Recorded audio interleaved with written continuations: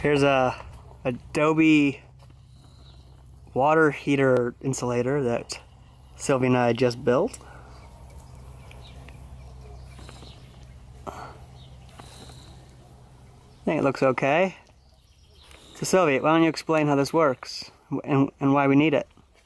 Um, you get the mud, mix it with water until it forms like a clay and smooth it on. But why do we need to build this thing? with insulating the fire so that the fire heats up the water for the shower.